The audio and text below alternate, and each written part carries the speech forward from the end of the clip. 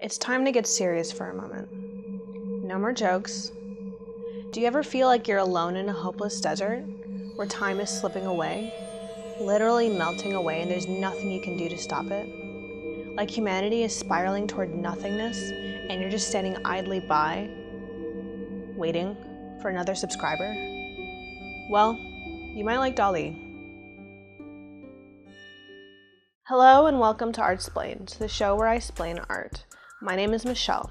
Today, let's get a little weird with the ever quirky and super famous Salvador Dali. This guy is known for many things for being from Spain, for his surrealist works, for his paint skills, and of course, that goddamn mustache. Just look at that thing. Wonderful. One of his most significant works is The Persistence of Memory.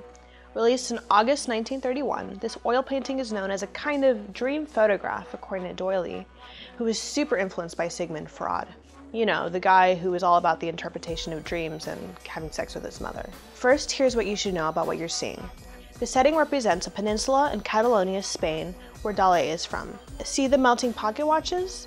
Those are supposed to show that time and space are relative. They're also supposed to represent camembert cheese melting in the sun. True story. In the middle, this weird blobby thing is not just a human, but Drawley himself.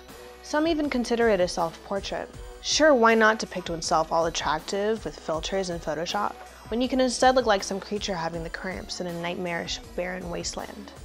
Today we're going to take this photo of everyone's favorite gremlin and put her in a spooky, nightmarish hellscape where she belongs.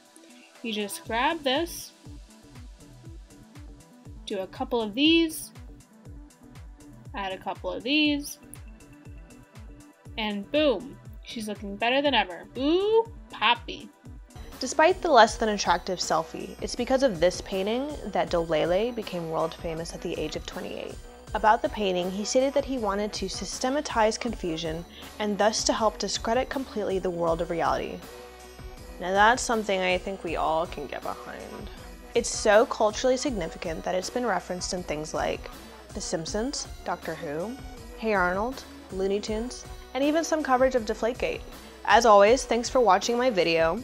Be sure to subscribe, press the little bell thingy, and tune in next Thursday for a new video hot off the presses.